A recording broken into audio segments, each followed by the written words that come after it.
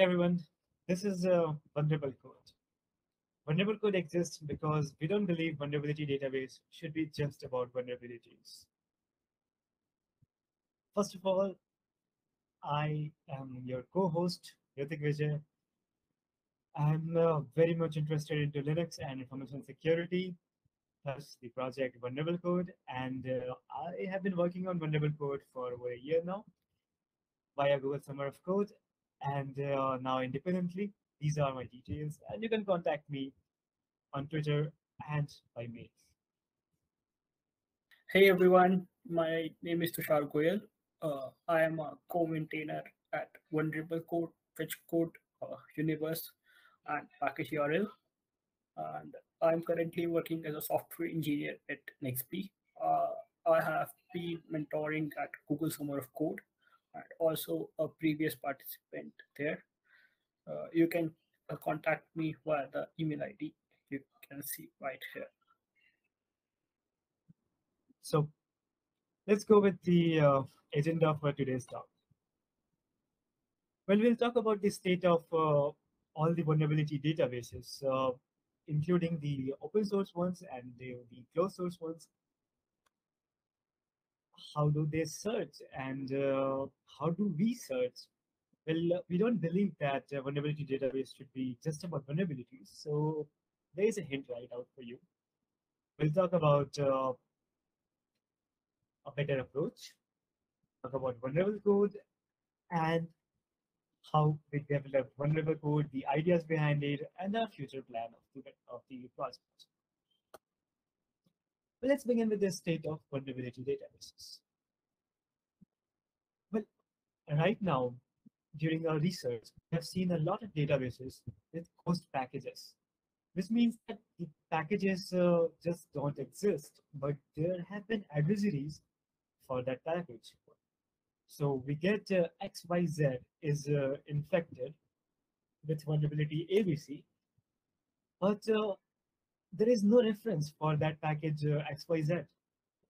Sometimes it happens that the package XYZ exists, but the version vulnerable does not exist at all. We have uh, very uh, we have a problem of crying wolf as well where uh, a package would uh, be treated as vulnerable even if there, its one vulnerability is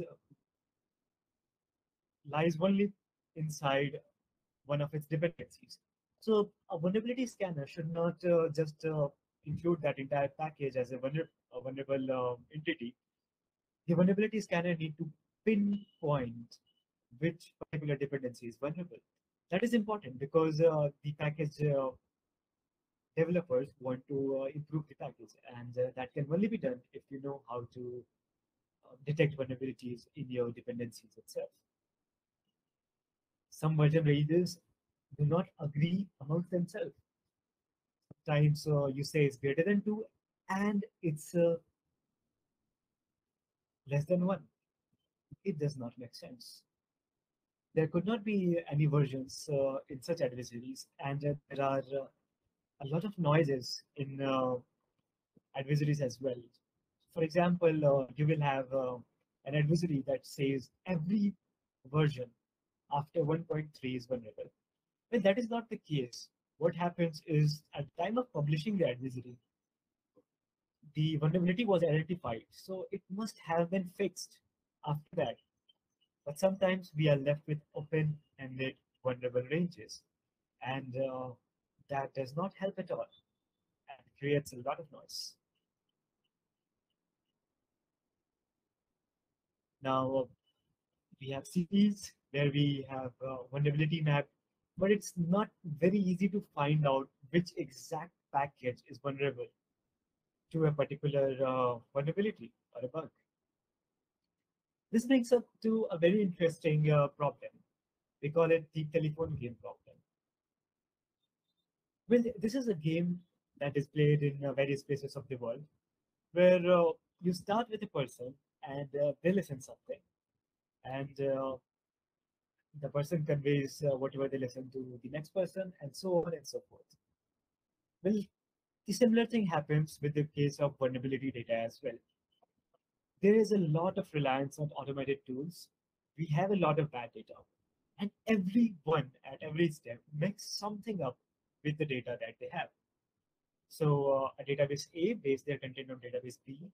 And if uh, the initial database was not uh, correct to begin with, all the database gets corrupted down the line. Even further, they alter the data. Sometimes uh, they convert version ranges from uh, mere numbers or uh, op operators to English English sen sentences, which sometimes just does not make sense and uh, is not possible at all. This implies that as many database interpretations you have, you will have as many version ranges. And uh, this spoils the entire data. And this turns over time into a telephone game, where at the end, the message that uh, upstream wanted to convey has totally been changed.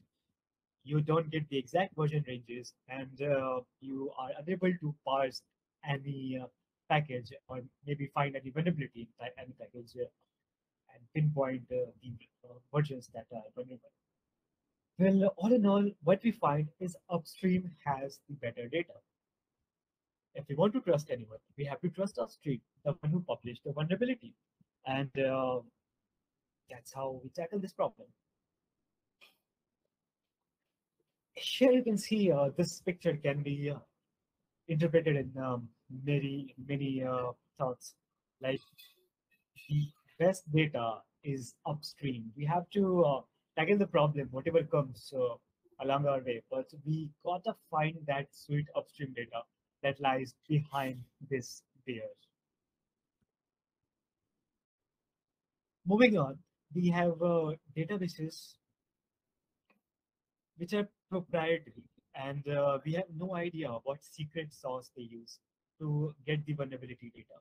It is uh, it is very painful to not to know how the data that you're consuming has uh, emerged in the uh, outside world.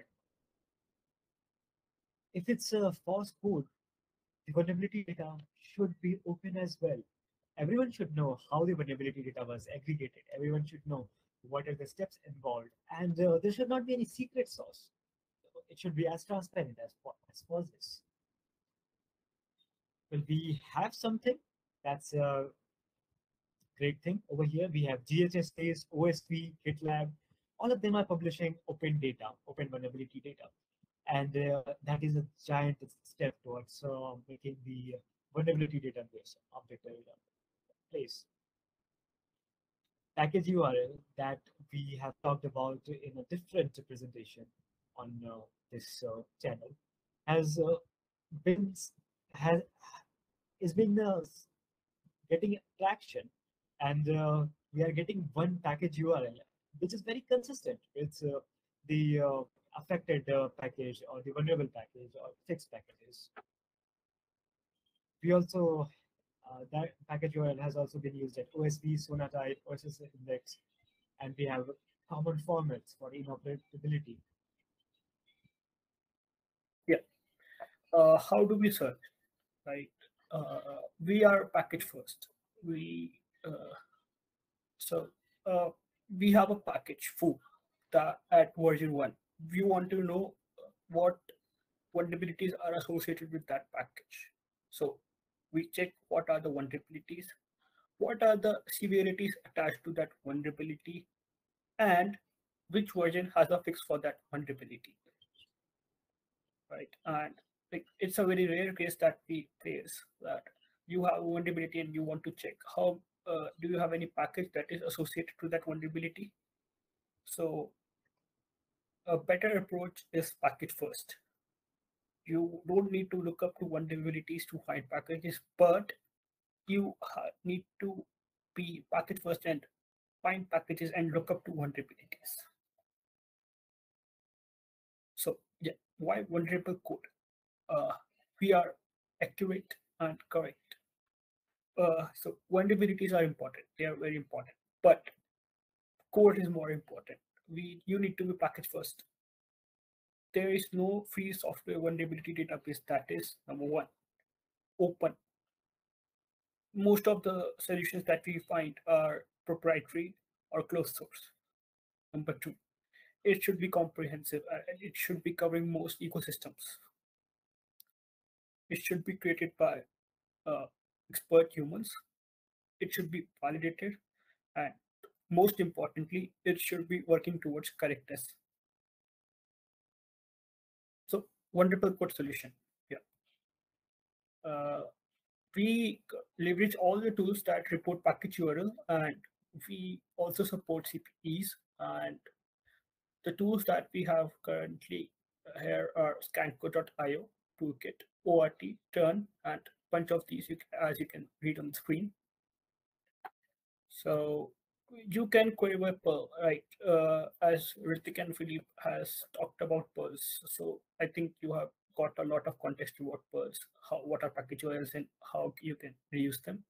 So we support queries by purl and open data and open source tools are always better.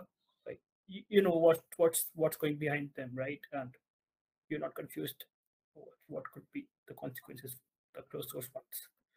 And yeah, eventually we'll be having expert review and uh, in the curation of data. Well, we talked about a solution that is vulnerable code, which, um, in our opinion, is a robust solution. We talk about packages, not vulnerabilities over there, and it serves very well. But how do we create a database as that? We use data directly from upstream, the source that provides us with the highest confident data, which is uh, which is uh, our uh, point of truth. We employ a confidence-based system. That means we don't have uh, all data that we trust. It could be if uh, the vulnerability data is from the maintainers, we can trust it blindly because they have published it's their code. But if it comes from a third party, there is a problem. We cannot uh, give them 100% confidence. There could be certain uh, differences over there. But what we can do is we can aggregate and correlate as many data sources as possible. And then we can cross-reference those data sources to make sure the confidence of a particular package vulnerability relationship is uh, as high as it could be. And then we come up with new relations with vulnerabilities. And then we mine the graph, we find out uh, the relations that were not very much apparent in the first place. And this will eventually help us to get correctness with a very high confidence and uh, a review system as well. See how do we aggregate and correlate many data sources. Well, of course, uh, we collect as many sources as possible. That would include uh, OSV, GitHub, GitLab, and all the open sources out there. We have a common data model where we can cross-reference and uh, create graphs. We can have uh, trackers that are specific to certain projects like uh, Apache, OpenSSL, or bug trackers, change logs even. We can even track uh, distributions, that is Debian, Ubuntu, etc. We can have application package trackers and so on and so forth. So we get us uh, data in one common format from all of these sources. And then we create a multi-level refinement. So first we import, which gets inside the advisory staging area. That is uh, just an area that we name inside our code base, which just had, had which just uh, consists of the upstream data. Now, adversary data can be true or false, sort of low confidence, or maybe uh, just uh, no data at all. We don't uh, care a lot about our staging area, but there is some structured data over there. What happens is when we go over to the next step, there is an improve step. In the improvement, we take all the advisory data and convert them into a relational database of vulnerability, package, and their uh, relationship between each other, their confidence, and etc. We keep the original advisory data, that is the raw data, along with the relationship, so that we can get to the root of every relationship. But at the same time, we have very specific improvers that can even cross-check data sources. They can uh, invalidate data sources. They can uh, provide confidences for uh, different type of relationship. They can even update version ranges if need so be. So by this multi-level refinement, we can simply grab all the sources out there, convert into in a very simple format, and then improve upon that source. And slowly and steadily, we get a final output that consists of a confidence and uh, provides us with uh, a very concrete vulnerability and package relationship. So, uh, as Hritik has presented the current state of open source vulnerability databases, so uh, now talk about the issue ghost packages, right? So some packages do not exist anywhere. And when I say packages, uh, like the package may exist, but some versions do not exist anywhere. Uh, so what's the solution for that? We look up at the upstream registries and repositories and check if the package URL and versions are correct and they do really exist at upstream. Lesser data quality. Yeah, some vulnerability sources can be trusted. Uh, as we have seen, uh, the package and vulnerability doesn't exist but are still reported by some of the sources. So you can't trust them all. So what do we do here? We assign confidence levels. Confidence levels ensure that we are getting all the data, but we can mark them with lesser confidence level if the data quality is not so good. So we do not trust others. We discount the data sources. We trust less. But more importantly, we do not trust ourselves as well. We may discount our automated inferences that we are not sure about. So now in character missing versions, uh, as, as a very interesting point that Hritik pointed uh, when talking about the open source vulnerability databases, uh, uh you know, sometimes it's reported that a package above 1.0 is vulnerable, but the, uh, it was according to that condition only that all the packages above 1.0 were vulnerable. But after that, also some packages would be published. So it can't be inferred that uh, that those packages are also vulnerable. So solution is that we store version range, resolve range, and time travel. Yeah, time travel. We uh, so let me explain all of these.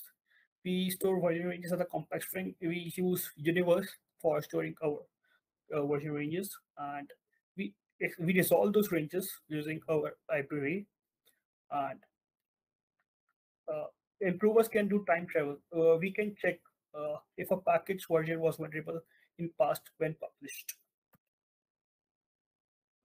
So next issue is uh, duplicated data. Because we are aggregating with multiple uh, data sources and because they exist in the world, a lot of vulnerabilities could be duplicates. and uh, that leads to a lot of noise which is the worst enemy that we can have in a vulnerability database. Because as noise increases, you lose trust in the database.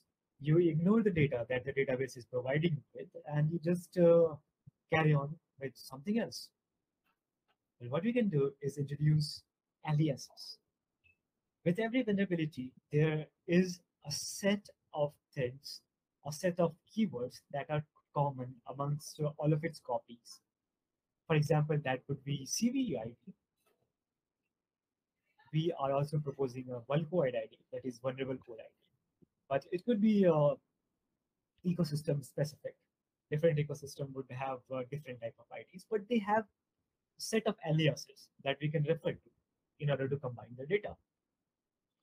Now, after combining all of the data, we create a vulcoid ID to alias relationship. So that vulnerability has a lot of aliases, but that has one vulnerability ID, which helps into finding relationship between one alias to another alias as well. So if you are saying CV1234, I could reference it through the vulcoid and find out a difference, maybe bisect adversary or maybe a different adversary associated with the same vulnerability. And it won't be duplicated. We'll get all the data at one place uh, without any repetitions. In the end, we reconcile everything with the help of improvers discussed in earlier steps where we uh, improve upon our collected data and uh, merge all the uh, duplicate data into one single relationship. These are not the end of the issues that we face. There are other issues. All the data sources that we encounter are somewhat unstructured, messy, and sometimes even incomplete. Well, uh, there has been a lot of effort towards it, and a lot of organizations have started publishing very uh, structured and uh, very clean data sources for vulnerability advisories, but uh, it is not the case worldwide. There have been vulnerability advisories that are published just in human readable text, which is uh, in English, follows English grammar, and uh, is completely alien to computers. And uh, we have a lot of problems over here, but the solution is again to integrate all of the data sources and cross-reference them. One data source could help identify a badly formed or unstructured other data source coming with the same alias. In the duplication example, we talked about aliases, and that could even help us to structure the unstructured upstream data. And uh, that could pave a way to a very clean uh, vulnerability database. Another issue would be not every data is relevant. Old vulnerabilities on Windows 95 or Windows ME does not uh, help us in any way in the current era. We uh, that could be interesting for a few, but in general, that uh, lacks uh, a huge interest. And we are not very much interested in commercial software, anyways because vulnerable code is very much focused on uh, open source data and uh, we want to make it uh, very much transparent how we are working without a secret sauce and want to uh, incorporate as many data sources as possible. We want to keep licensing in mind and not want to jump into the realm of commercial software, but uh, that uh, stops us being from being the universal vulnerability database. But for this, we can let go of some of them. Uh, let go of uh, the uh, past uh, data and uh, move forward with the future. We would have a, a little bit of problem here. We would have a little bit of uh, holes in our database, but I guess we can do with, with those holes because in future we need to pave the way for the new software, not the old ones. Hello, this is uh, Philippe here. I'm just jumping in for one last uh, topic, which is our future plans. I'm, I'm the lead maintainer on uh, vulnerable code. And so the first thing we're, we're looking at is all the time adding more primary data source as much as possible uh, going upstream, because that's where we find the, the better information, which have not been uh, reworded and transformed and, and remember what what we talked about the, the telephone game earlier on. The second thing also is adding actual commits that are either fixing or introducing vulnerabilities. They're really useful because they help track if the code you use actually has these vulnerabilities, or if a given package, which may be a derived package, say there's a vulnerability in zlib. Um, it's present in a Linux distro or vendored in a node package. Um, how can you know exactly what's the version? Uh, if you know the exact commit, then you can access the exact bit of code that is effectively introducing or fixing the vulnerabilities and check whether you have the code or don't have the code anymore.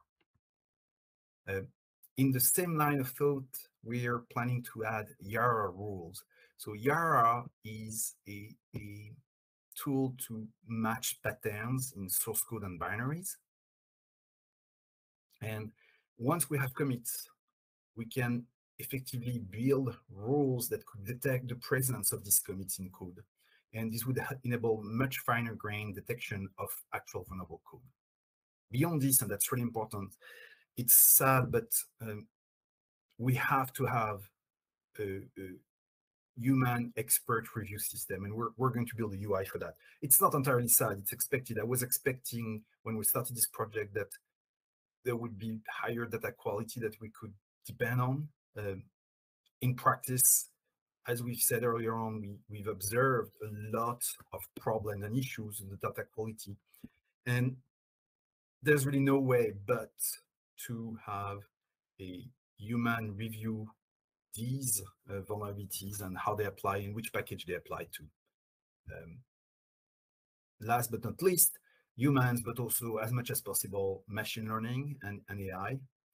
Um, one specific application that we made some experiments with and, and, looks promising is to actually spot inconsistencies and discrepancies.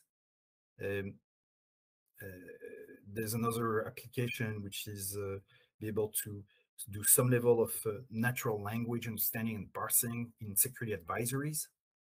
So you could translate something that says, oh, this vulnerability is uh, applying to this package from version 2 to version 5. Being able to transform that in, in an actual version range uh, could be one of the applications there. And you know, machine learning is great, but good old heuristics go a very long way in many cases. Um, an example, uh, uh, Hritik spent quite a bit of time discussing uh, with the Nginx maintainers upstream to better understand how they create and form their security advisories. So again, these are the authors and, and maintainers, the, the folks that write the code of Nginx. So they, they know uh, everything upstream because they are the upstream of Nginx. Um, the the rules and your the, the, approach they take to version Nginx and, and version vulnerabilities and vulnerable ranges is a bit peculiar.